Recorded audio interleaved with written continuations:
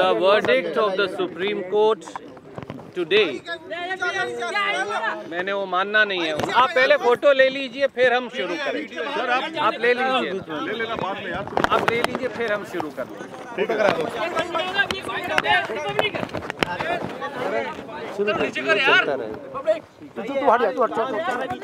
Very good एक minute आप भी फ़ोन बंद करेंगे तो मैं शुरू कर पाऊँगा। Supreme Court today is a validation of what the Congress party stated months ago particularly on fifteenth of twenty eighteen that Supreme Court is not the forum to decide the issue of such sensitive defence contract Please remember, and we have uh, circulated those proceedings in writing to you. I had said that Article 136 and Article 32 are not the forum to decide the issue, the pricing, the process, the sovereign guarantee, and the corruption in the Rafale contract. The only media, the only forum is a joint parliamentary committee which should probe the entire corruption in the Rafale deal, find out and decide who are the person who are accused, and then the process of law must be set in motion. What the government presented to the Supreme Court was one-sided, half-baked information on a unsigned affidavit which was not scrutinized by anybody nor was it in public domain. We have maintained from day go. And that's why congress party chose and decided never to go to supreme court or invoke its jurisdiction. We went to parliament and even today we are in parliament demanding a jpc we went to cag which is the other forum where this matter can be examined. And if government has nothing to hide if Modi ji and his government has committed no corruption, then I challenge him today on behalf of the Indian National Congress to submit to a JPC probe which will examine the notings on the file, which will examine and question the Prime Minister and all the Defense Ministry officials, and which will then prove unequivocally as to how a systematic corruption guided by the highest echelons of power happened in Rafale deal. Supreme Court cannot decide that process and we thank the Supreme Court that they have rightfully said so. And I quote the Supreme Court from para 12. They have said it was made clear that issue of pricing or matters relating to technical suitability of the equipment would not be gone into by the court. They have again said in para 15 that we are constricted by our power of judicial review. They have again said in para 34 that our judgment is purely from the standpoint of our power under Article 32. Please read the AICC proceeding and statement of 15th of November. I have said all the three things. And I'm, I'm just reading for you what I said then. And I quote, सर्वोच्च न्यायालय न्यायालय में Rafale की सुनवाई से संबंधित एक अन्य प्रश्न के उत्तर में श्री सुरजेवाला ने कहा कांग्रेस पार्टी सुप्रीम कोर्ट नहीं गई है, क्योंकि पहले दिन से ही आप याद करिए, मेरी सब पत्रकार वार्ताओं में आप खुद मौजूद रहते हैं। हमने कहा कि इस सारे विवाद में फ़ाइल नोटिंग्स पढ़नी पड़ेंगी।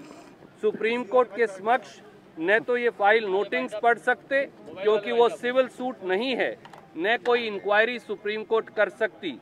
आर्टिकल 136 के अंतर्गत संविधानिक ताकतों का इस्तेमाल सुप्रीम कोर्ट कर रही है, पर ये रहस्य की परतें अनेक हैं। सुप्रीम कोर्ट ये कैसे पता करेगी कि रिलायंस एरो डेवलपर में दस रुपये का शेयर आठ लाख रुपए की एसेट कंपनी को पंद्रह सौ रुपये में दसोल्ट एविएशन ने क्यों खरीद लिया? सुप्रीम कोर्ट कैसे जाँच करेगी आर्टिकल 136 में? सुप्रीम कोर्ट कैसे जाँच करेगी कि कानून मंत्रालय ने एक बार नहीं दो दो बार राय दी, उसके बाद भी प्रधानमंत्री जी ने बेंचमार्क प्राइस बढ़ा दिया।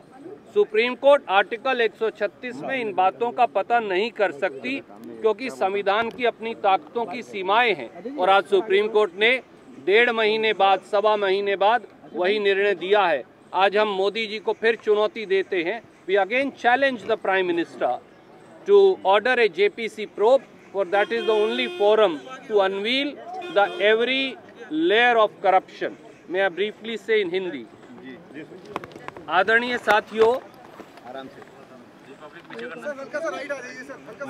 आगे भी आ जाओ सर।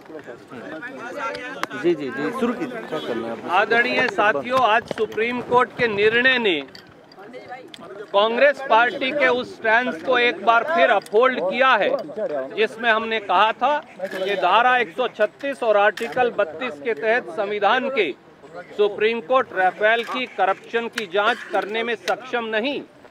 और इसीलिए हमने कहा कि कांग्रेस पार्टी सुप्रीम कोर्ट नहीं गई। कांग्रेस पार्टी ने लगातार संसद के अंदर और बाहर ये कहा कि राफेल के रहस्य की अनेकों परतें हैं भ्रष्टाचार की अनेकों परतें हैं और उन परतों की जाँच केवल और केवल जेपीसी कर सकती है। बफोर्स मामले में भी भारतीय जनता पार्टी की मांग पर जेपीसी का गठन हुआ था।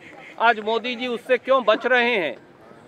कांग्रेस पार्टी सीएजी गई, जो दूसरा ऐसा फोरम है, क्योंकि इस पूरे मामले की जाँच के लिए फ़ाइल की नोटिंग्स पढ़नी पड़ेंगी। प्रधानमंत्री श्री नरेंद्र मोदी को एग्जामिन करना पड़ेगा। रक्षा मंत्रालय के लोगों का एग्जामिन करना पड़ेगा और इस पूरे रहस्य की परतें खुलनी पड़, खोलनी पड़ेंगी। और इसमें बाकायदा साक्ष्य, तथ्य, वो दोनों एग्जामिन होंगे। और क्योंकि सुप्रीम कोर्ट के समक्ष हाफ़ बेक्ड आधी अधूरी सूचना, वो भी बगैर साइंड एफिडेविट के सील्ड कवर में मोदी सरकार ने रखी थी, इसलिए आज सुप्रीम कोर्ट इस नतीजे पर पहुँची कि वो इस पूरे मामले का तह तक जाकर निर्णय करने में असक्षम है, क्योंकि उनकी अपनी ताकतें सीमित हैं सुप्रीम कोर्ट ने पैरा बारह में ये कहा है and I quote it was made clear that the issue of pricing and matters relating to technical suitability of the equipment would not be gone into by the court.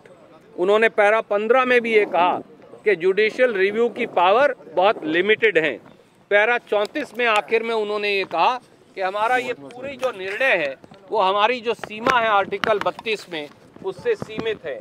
हम चुनौती देते हैं मोदी जी, अगर आपको कोई डर नहीं तो आप जेपीसी करवाने से घबरा क्यों रहे हैं? ये बात का जवाब तो आपको देना पड़ेगा कि 526 करोड़ का जहाज़ 1670 करोड़ में क्यों खरीदा? इस बात का जवाब आपने आज तक देश को दिया नहीं। ना ये राष्ट्रीय सुरक्षा का मुद्दा है, ये भ्रष्टाचार का मुद्दा है और बयालीस हज़ार करोड़ का चूना कैसे लगाया? इस बात का जवाब भी देना पड़ेगा कि तीस हज़ार करोड़ का ठेका आपने हिंदुस्तान एरोनेटिक्स लिमिटेड से छीनकर रिलायंस कंपनी को कैसे दिलवा दिया? और इस बात को हम नहीं कह रहे, इस बात को फ्रांस के राष्ट्रपति ने बताया। इस बात का जवाब भी देना पड़ेगा कि ये गवर्नमेंट टू गवर्नमेंट कॉन्ट्रैक्ट तो है ही नहीं। सॉवरन गारंटी गई कहाँ? इस बात का जवाब भी आपको देना पड़ेगा कि कैबिनेट कमेटी ऑन सिक्योरिटी की अवहेलना क्यों हुई? आपने 10 अप्रैल 2015 को जहाज़ खरीदे और कैबिनेट कमेटी ऑन सिक्योरिटी की परमिशन पहली बार 24 अगस्त 2016 को मिली, जबकि ये पहली मिलनी चाहिए। और जहाज़ पहले खरीद लिए गए। जहाज़ खरीदने की नेसेसिटी डिफेंस एक्विजिशन काउंसिल के द्वारा एक महीने बाद की गई। तो यहाँ दाल में काला नहीं। राफेल में पूरी दाल काली है और चार बजे आज पूरे कागजात के साथ, जो अब तक सार्वजनिक पटल पर नहीं है, एक और खुलासा राफेल के इस मामले में हम करने वाले हैं। सर, आपको लगता है ये हाफ़ सरकार ने कोई सामने रखा?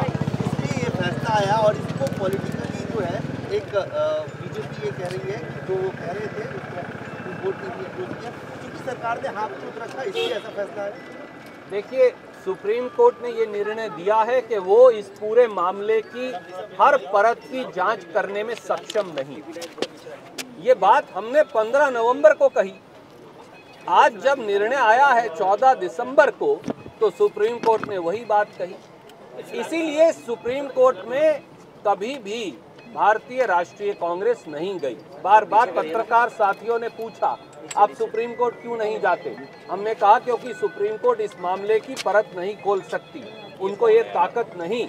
आर्टिकल 136 में या आर्टिकल 32 में। और आज सुप्रीम कोर्ट ने उसे दोहरा दिया जो हम कह रहे थे। मैंने वो सारा आपको पढ़कर बताया।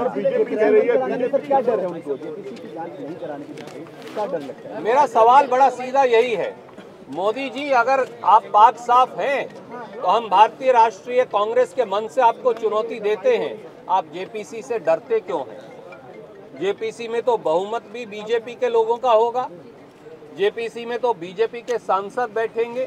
क्या आपको इसलिए डर है कि रफेल की फाइलें जेपीसी के पास आएँगी और आपकी झूठ और भ्रष्टाचार का पर्दाफाश हो जाएगा? मोदी जी केवल इसलिए डरते हैं। अगर आप में हिम्मत है तो हम पहले दिन से कहते हैं कि सुप्रीम कोर्ट का ये मामला नहीं ये जेपीसी का मामला है। करवाइए जाँच ताकि दूध का दूध पानी का पानी सामने आ जाए। तो तो है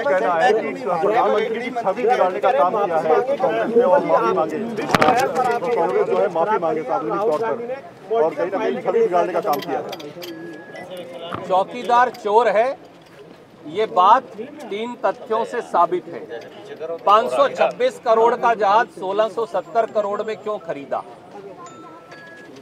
अब मोदी जी और उनके चेलों ने बाद में ये कहना शुरू कर दिया, बगैर सामने आए, कि इसमें इंडिया स्पेसिफिक एनहांसमेंट हमने बाद में जोड़ी थी। उस रहस्य की पोल भी चार बजे खुल जाएगी। दूसरा, ये बताइए, चालीस हज़ार करोड़ का ठेका सरकारी कंपनी एच से लेकर प्राइवेट कंपनी को क्यों दिया?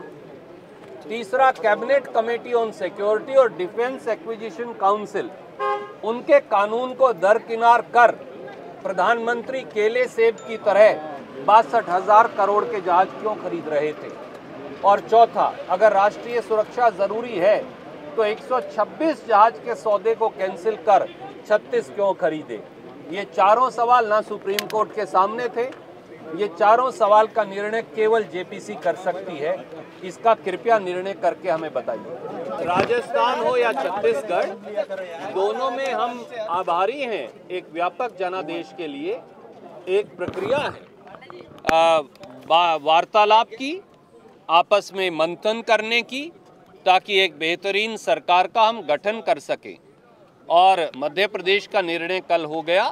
बाकी दोनों प्रांतों का निर्णय भी आज और कल के अंदर हो जाएगा। इसमें कोई ना देरी हो रही, ना कोई विवाद है। ना किसी प्रकार का मतभेद है। इसलिए मैं आपको फिर अनुग्रह करता हूँ। काश ये सवाल मोदी जी से भी पूछ लेते, जब उत्तर प्रदेश में 11 मार्च को नतीजे आए और 19 मार्च को वहाँ सरकार बनाई थी। तो उस समय किसी ने मोदी जी से ये सवाल नहीं पूछा कि आदित्यनाथ जी को चुनने में उन्होंने आठ दिन क्यों लगा दिए? पार्टी की अपनी मंत्रणा की प्रक्रिया है और आप ये पाएँगे कि अगले 48 घंटे के अंदर ये निर्णय हो जाएगा। मध्य प्रदेश की तरह यहाँ भी एक सबल, सक्षम और जनता के हक वाली सरकार का हम गठन कर पाएँगे। धन्यवाद।